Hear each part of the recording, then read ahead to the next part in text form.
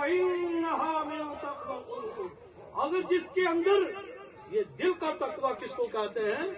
اصل میں دل کا تقوی پرہیزگاری کس کو کہتے ہیں؟ سب سے بڑا تقوی ہے محبوب کی تعظیم۔ حضور کی تعظیم، تمام انبیاء کی تعظیم مساجد کی تعظیم، قرآن کا ادب نے نعوذ باللہ قرآن کو قوم پر جائز قرار دیا۔ جو لوگ جا کر اس وقت دیکھ لیں جنہوں نے حج کیا جنہوں نے عمرہ کیا یا ویزے پہ ویسے ہیں آج بھی جا کے نعوذ باللہ استغفر اللہ العظیم دیکھو قوم کے اوپر قرآن رکھتے ہیں۔ کہتے ہیں یہ ہماری زبان ہے۔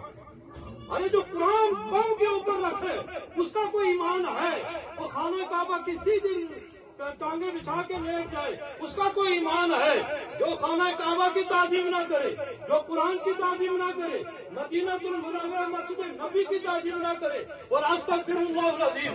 ہم جا رہے تھے جب حج کے فارغ ہو کر تو مجھے ایک کتاب اس یہ کتاب بانٹ رہے تھے وہ فری اتنی چھوٹی چھوٹی کتابیں۔ اور اس کتاب کے اندر جو جملہ آج بھی مجھے یاد ہے، آج بھی دیکھ رہے ہیں جو حجاج کرم جا رہے ہیں۔ اس کے اندر اس نے کم نے لکھا کہ حضور کے روزے کی نیت سے، کی زیارت کی نیت سے جانا یہ شرک ہے۔ اور یہ لکھا ہاضا سن میں اکبر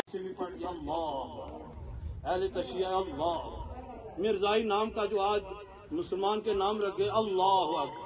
او خدا کے بندو، ایمان والا دل محمد صاحب اللہ دے میرا تو من آنے سودے کر رہا ہے من آئے اس من انہیں نسل پیڑی ہے۔